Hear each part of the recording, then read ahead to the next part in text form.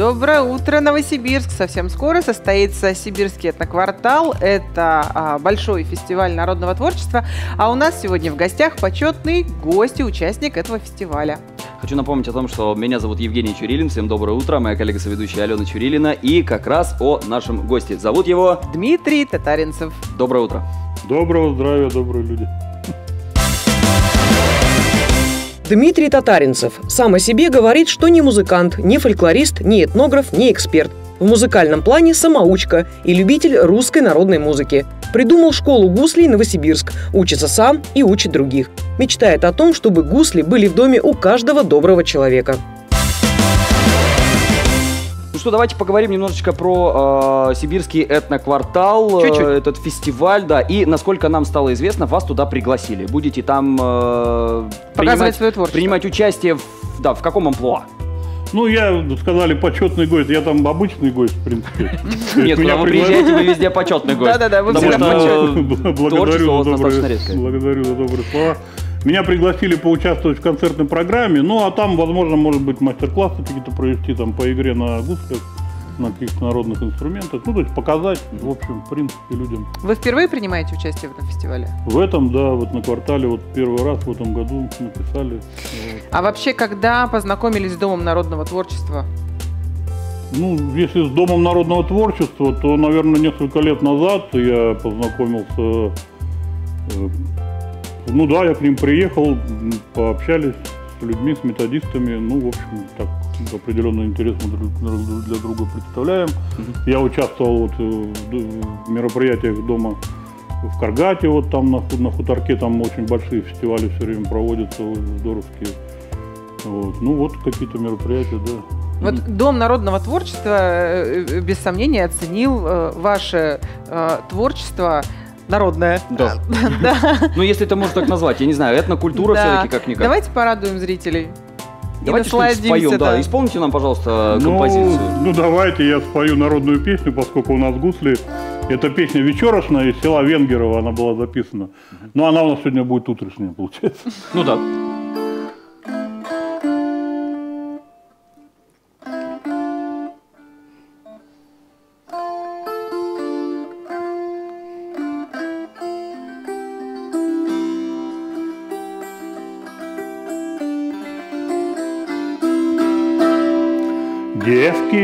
Сеяли капусту, приговаривали, да ой, лёли, ой, да люли, приговаривали. Кто захочет капусты, сам ускочите в огород. Ой, лёли, ой, да люли, сам ускочить в огород. Он капусты не транил, красавицу полюбил, да ой, лёли, ой, да люли, красавицу полюбил. Ну и там дальше, как понятно, любовная история. Мне так, прям душа ходит. «У, Все песни про любовь. Да, здесь про любовь и капусту. Да, вот на этом квартале только я буду петь ее под колесную лиру. Она прекрасно под колесную лиру ложится. Р- Расскажи, что это Колесная лира это такой инструмент, который, как и гармонь, допустим, пришел к нам из Западной Европы где-то там в 17-16, наверное, веке. Вот. Он еще называется харди-гарди, вот по-ирландски, по-моему, как-то там по-англоязычному. Вот. И потом, значит, э, он э, представляет собой такую скрипку, то есть такая вот э, штука, похожая на виолончель или на гитару корпусом. Ну, они разные бывают формы там. И вот крутится колесо, и об него трутся струны. И вот такое звучание похоже на волынку или на виолончель, или на, или на скрипку, какое-то низкое такое звучание. То есть человек крутит ручку, тут у него кнопки, а вот правой рукой крутит ручку, тут у него кнопочки специальные, которые изменяют длину струны и, соответственно, Ну, и тональность. меняется, да, Вот У тональность. такое меня приблизительно сразу устройство. ярмарочный шарманщик. Я тоже почему-то шарманку Да, но это, наверное, это лира, и люди, которые на ней играли, назывались лирники. А, Вот, лирник. поэтому Вот, вот вот так, откуда. да. Теперь да. Да, Вот в древности она была очень длинная, вот у Запада, они же любят Ага. все усложнять на Западе, поэтому она была, крутили, э, играли два человека, один нажимал кнопки, а другой сидел там, она очень длинная была и крутила ручку, и она такая звучала как фундаментально. Ну вот интересный Спасибо, да. инструмент. А, э, да, коль уж начали с, гу- с гуслей, да, я спрошу, давно ли вы играете на этом инструменте и от чего любовь ваша э, большая к этому инструменту? Ну, вот она, гусли, это такое дело, что вот то- только так, наверное, бывает, как у меня, потому что я очень много знаю людей, которые приходят ко мне заниматься. Это вот просто раз и все. Любовь В с первого 2013 взгляда. году я вообще никогда не занимался музыкой, я всю жизнь работал в геологии, в геофизике. Вот, э, и, в общем, всю свою жизнь сознательно на одном предприятии, ну, просто поигрывал на гитаре. А где-то в 2013 году на живой воде я увидел гусляра. И меня сразу как вот пробило, хочу себе гусли. Я поняла. И все так и получилось. Я поняла, это корни, э, это корни, Тут- да, вот Ну, как, прорезаются. да. Наверное, да. Наверное, Говорят, что это, вот такой инструмент, который, как я понимаю, если ты с ним познакомился, то он затягивает, и ты с ним больше не расстаешься. Очень интересный инструмент. Я на гитаре практически уже перестал играть. У меня их было три штуки, я почти все продал, одну оставил на всякий случай. Мгм. Все, это Вдруг мне поход, на нем да? играть интересно. Вот тут всего 10 струн, но надо играть на нем так, чтобы это звучало не хуже, чем на ну вот на, на всех при всех возможностях гитары или фортепиано. А вообще, вот а, в чем принципиальное отличие а, гуслей от любых других, а, там, не знаю, родственников? да, струнных да. инструментов, да. Если это Особенность- народный инструмент, то особого отличия нету. Вот, потому что, ну, он, он безладовый. Вот у него вот есть 10 нот, вот эти Мгм. 10 струн, Да. или 12, или 15, ну, в зависимости от гуслей. И все, больше ты из него ничего не выжмешь. То есть ты ноту струны не изменишь, вот ты какие-то струны ненужные закрываешь, остальные струны звучат. Ну, как Всё. подождите, ну, э, позвучите еще немножечко вашим инструментом. Почему? Потому что, смотрите, ну, действительно, ладов нет, а какие-то прикрываете. То есть, получается, мы слышим э, некие там триоли, трезвучия, да, определенные. Да, аккорды. То есть я ставлю аккорды, как бы я ставлю, не ставлю аккорды, а оставляю место для аккордов. То есть вот сейчас звучат свободные струны. Ага. Ненужные струны закрыты. И получается, что вы э, левой рукой еще что-то щипаете. Правая, Ну, получается, она игровая. Да, это приемы игры уже из других э, техник. Это, скажем, в русской традиционной игре вот такого не делали. Мгм. Ну, было все довольно просто, причем максимально виртуозно при этом. Вот, Татьяна Ильинична Баринова, например, светлая память. Бабушка сидит, вот я старый ролик, наверное, 50-х, 60-х годов, сидит бабушка такая в шале. Вот, я говорю, замечательная женщина, скорбное такое лицо такое спокойное, она сидит, практически не шевелит руками, но идет бешеный ритм, и я, я не могу этого сыграть, я 10 лет это репетирую, ездил в Вологду, чтобы, в Вологду, чтобы это выучить, но пока вот боги не дают мне возможности вот сыграть то, что она играла, Долгова, вот этот наигрыш. Мне кажется, что у Не нее просто всё впереди, состояние такое медитативное, она входит и вот э, в астрал какой-то. и- Ну, я думаю, что они такого слова даже не знали, а просто вот так вот. а. Ну, А, вот получается. А, Дмитрий, что- подскажите, вот у нас сегодня при, в, э, в студии присутствует э, множество различных инструментов. Но в принципе с этим я немножко Множество знаком. Различных дудочек. Да, а, э, Ложечек. дудочки. Рассказывайте, как это называется, какие особенности игры на этом, и вы на всем этом можете играть. Ну, да, в какой-то мере, да. Как говорят, мультиинструменталист, человек, который на всем играет, но плохо.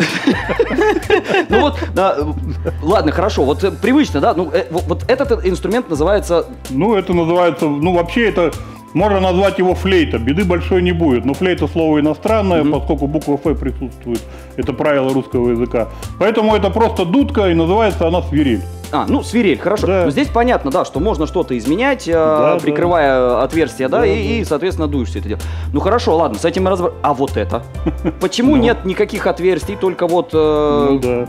концевичок для того, чтобы дуть туда воздух и, и просто выход, и Да, все. это такая тоже, ну, шутка, наверное, да, такие пастухи называли это Албертановой флейтой. Ну, конечно, нет. Это калюка называется. То есть э, дудка, Калюка. которая звучит в одной ноте. Можно Если поп- в ней дырочки просверлить, то она тоже будет менять. Но в ней дырочки сверлить не стали, просто оставили в одной ноте. Это, видимо, для Инструмент для особых- ленивых. Нет, понимаешь, а, есть барабанщики, которым тоже... Да? А, ну да. А Ну, есть ка- ка- Больше нравится тарелочки. калюкалисты, назовем это так. А, попробовать надо. Один, один звук, да? Ну, один звук, но в разных октавах, да. Он... Дело в том, что эта простота, она объяснялась тем, что его делать очень просто. Пастухи его использовали для выпаса коров.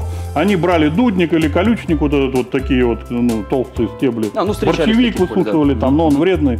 И просто вот поиграли, поиграли, из- излохматили ее, выкинули, тут же срезали новую, и вот новая дудка. То есть ничего не надо придумывать, а звук у нее замечательный. Ну, достаточно интересный. Причем, если дуть просто, она низко звучит. А если Ну посильнее, Да, и пальцем Слышно, еще как она, да. делать переливы будут такие. А если сказать «трррр», то она О, вот так вот. Ух ты!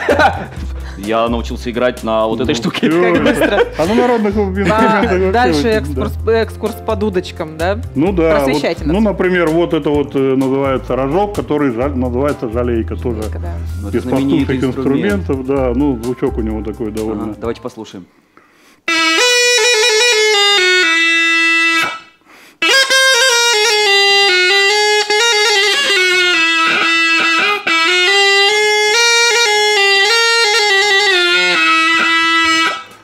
Ну, рисковатый, в него нужно очень А сильно дуть. можно что-то, например, э, ну попробовать, не знаю, там на нем э, современное что-то исполнить? э, Вот правда не пробовал. Ну, я думаю, что можно, ну просто зачем?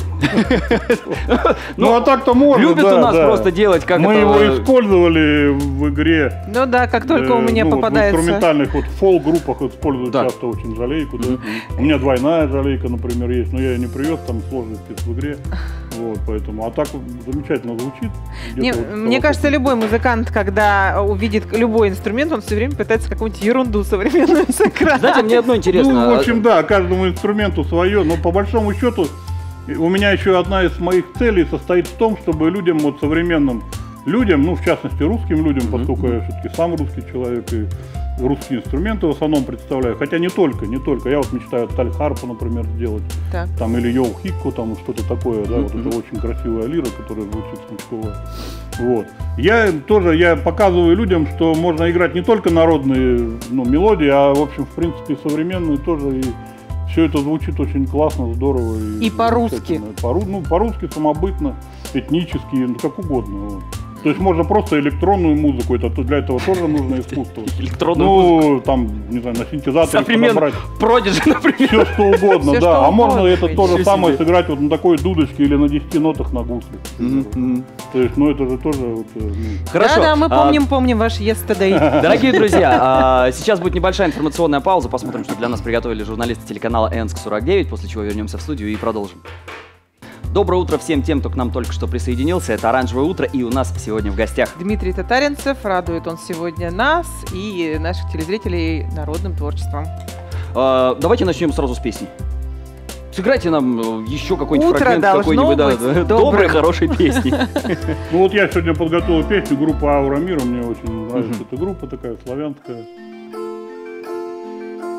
Отпускаю по реке вино, плыви,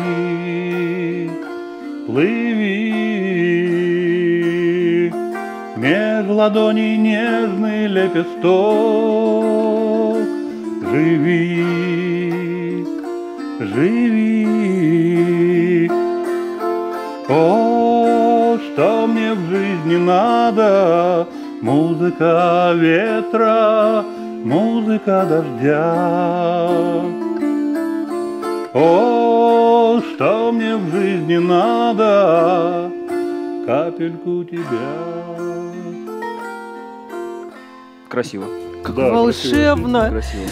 Слушайте, ну такое с утра сыграть, по-моему, никто не, не захочет идти на работу, подниматься. Очень сказочно Можно, можно, соответственно, что сделать? Да, можно сразу как-то, не знаю, впитать все яркие солнечные лучи в себя, вот что-то такое. Перевернуться на другой бочок и излучать, на бубне свет, постучать, чтобы люди проснулись. А, это бубен. Это да. бубен, да. Это тоже вы делаете самостоятельно? Ну да, это мои, мои такие Так, подожди, сначала его... изделия, да. Я же не зря Так, держала. ну давай, ты задействовал ложки. Ложки, как я понимаю, это тоже ваша работа. Нет, это Нет. работа не моя, это, по-моему, где-то, ну, в лучшем случае сделано у нас, но может быть и не у нас. То есть вы занимаетесь, э, видите какой-то музыкальный инструмент народный, э, этнический, и э, у вас прям, как говорится, да, хочется его сделать самостоятельно. Ну, в общем, да, мне все хочется сделать, но пока вот я гусли, бубны делаю, ну, буду пробовать дальше что-то другое. Мгм. Делаю Так. бердо для ручного качества. Такие Вопрос. А Ага. тут целая сеточка, так вот держаться-то можно? Ну вот за колечко, Всё да. правильно, А, да. правильно, Колечко да? Центральное ну и внутреннее вот кольцо, да. колотушечкой по нему, и можно прям, прям Вот, смело. да. не боясь. Это интересная Когда штука. соседи шумят, Да, кстати, я, кстати, мне интересно, что они испытывают, когда я дома проверяю новый бубен. Э, А, А ну, проверяю его, вот могу показать как. давайте. то есть даже, даже проверка есть? Ну, ну, ну, что-то вроде естественно, да, настройки? То есть я, я считаю, что по бубну, и как и по любому инструменту, нужно, нужно играть и колотить громко.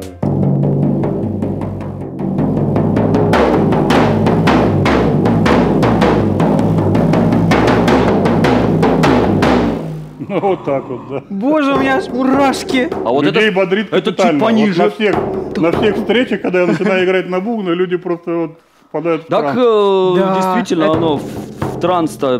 Да-да, не боясь прям слабо, сильно. Он звучит. Можно прям посильнее. Можно и сильно. Ну все, вы разрешили, хорошо, давай. И...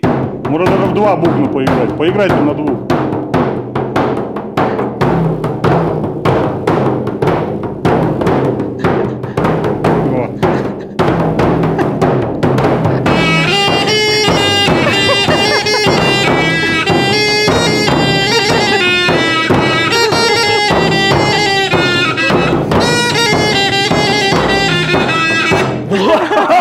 Нас целый оркестр получился. Дмитрий, у нас готов У номер. нас кафедра бубна.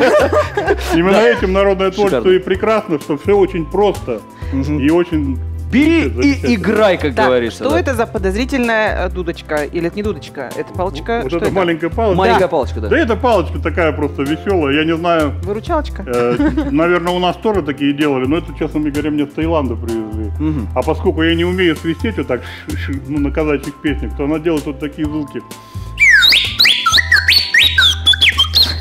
То есть ноту можно Вот до менять. чего вот техника дошла. Ну это как бы... Да. Или вот, например, вот обычная ну, свирель, это работа таежная Зачем ей дуло залепили?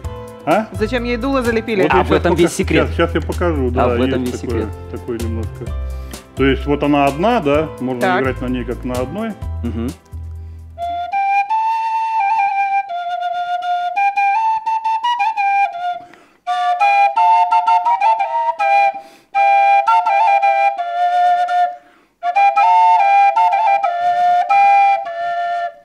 Вот, получилось, Интересно. получилась Это двойная свирелька. Да, получается двойная свирелька. Если взять еще третью, тоже нужное отверстие, как говорится, ну, закрыть, третью руку, да. Или кого-нибудь рядом поставить, да. это практически получится весь хор Да, это турецкого, да, одном будет западный вариант, как вот Харди Гарди объяснял, да. Да, да, да, да. Э, Ну, вы знаете, это уникально, по- поистине уникально, потому что это все, ну, казалось бы, да, наверное, сложно, а вот так попробуешь, и даже можно даже что-то Оно и так затягивает. Очень просто, на самом деле это очень просто. А помимо игры на музыкальных инструментах, на всех этих музыкальных инструментах, вы занимаетесь их производством, изготовлением. Вообще, насколько актуально это ремесло сегодня? Я думаю, что достаточно актуально и нужно его развивать. Вообще это очень важно, свои корни знать, свою музыку. Да. Как-то другие народы этого не стесняются, ходят в национальных одеждах, поют национальные песни, а у нас это как-то, как, как говорят, знаете, я, может быть, кого-то обижу, но, как говорят, у нас э, проще выйти там, извиняюсь, в стрингах на улицу, но только не в народном сарафане. Но я думаю, что это неправильно, почему бы нет. И сейчас как, как можно больше людей. Какая красивая женщина идет в русской народной одежде, в настоящей, в традиционной. Это заглядение просто, это княгиня, боярыня, не знаю. Очень, эта женщина просто прекрасная. вот. Ну, э, здесь, наверное, да, я поддержу э, ваше мнение. Действительно, э, я согласен с вами полностью. Надо нести свою традицию, рассказывать об нашей культуре э, и совсем этого не стесняться. Просто Ее надо просто знать. Не обязательно по ней жить, там, не обязательно конечно. там ходить, не знаю, там молиться колесу там, или что-то. Ну и никто Просто же не... нужно это знать, это же наше. И родное. никто же не говорит о том, что, допустим, должен быть вот прям вот русский-русский с- сарафан там со, со всеми там орнаментами. Вполне, И конечно. Есть же, ну там, Стилизованная одежда сейчас да, очень много, она прекрасна. стилизованная. Но мне рубаха вот стилизованная, она не народная, по сути, ну, она для выступлений. Вот. Но, тем не менее, все равно я уже обозначил. да. Ну, видите как, здесь э, два, да, э, два мнения. Первое, это то, что, типа, то, что старое, оно не модное. И второе, наоборот, то, что, э, то, что вот корни, те, соответственно, и надо, э, ну, продолжать и нести дальше, да, показывая, демонстрируя всем. А, давайте тогда, на- вот, например, сейчас попробуем людей вернуть на новую волну, условно говоря, да, Да. современную. Прежде чем перейти к другому блоку, мы, мы- у нас минутка музыки. Да, можно что-нибудь из современного, например, вот, ну, я не знаю, ну, у меня ничего, к сожалению, нет в голове, кроме ру- русского рока, вот как-то так. А есть что-то из э, русских рокеров, может быть, ну, уже такое ближе к современности?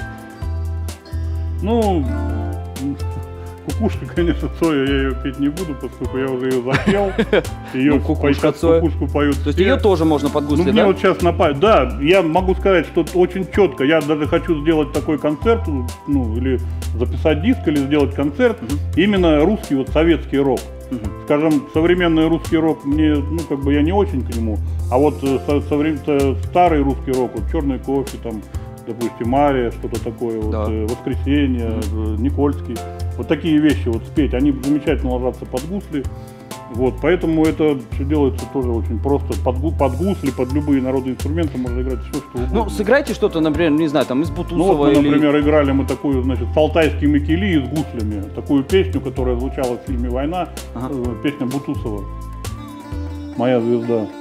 Моя звезда всегда со мной, Моя звезда горит в ночи И говорит мне подожди, Побудь со мной еще немного, Нас впереди ждет дальняя дорога. И никогда не скажет «да», Не понадеется на чудо, Не подарит каплю света, Никому не даст тепла. И я люблю ее за это, Я люблю ее за это, Но моя звезда не безответна. Ну и так далее. Вау, удивительно. По-моему, какие-то слова перепутал. Ну, Ничего удивительного. Нет, просто представляете, Или если... вот, например, еще. Ага.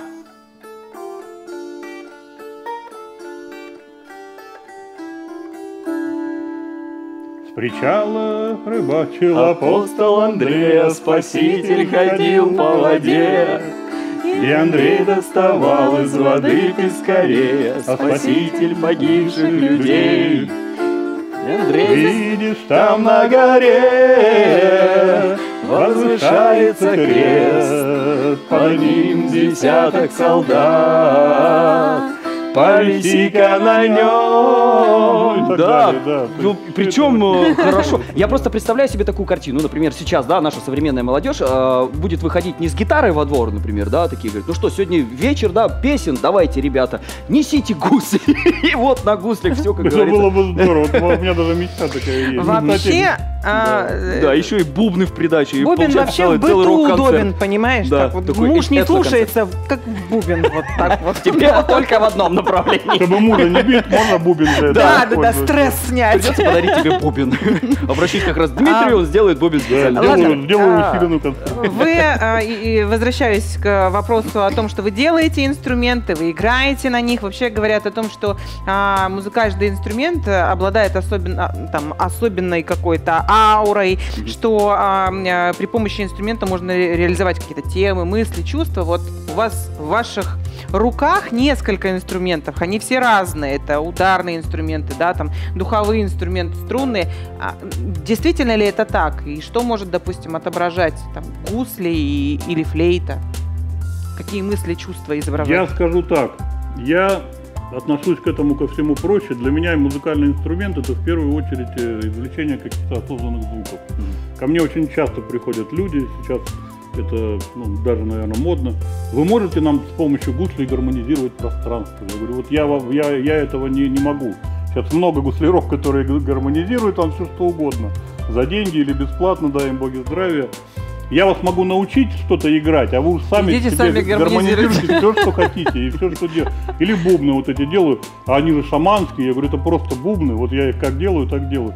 А если хотите, вы шаманьте. Но мои бубны, допустим, я совершенно точно знаю, что дождь они могут как вызвать, так и остановить. Это много раз проверено на фестивалях, может быть, это совпадение, но всегда, когда на фестивале идет дождь, постучал в бубен, дождь проходит.